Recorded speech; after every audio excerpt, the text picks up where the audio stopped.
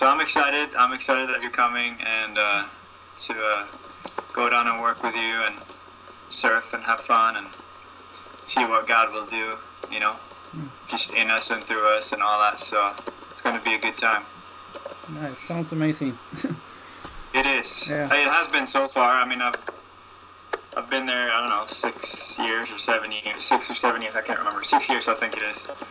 Um, and uh, it's yeah, it just keeps getting better and better. So Yeah, I was on my way asking that. How has it been changing in Sri Lanka after the tsunami? Like, Uh, well, that's a good question. Um,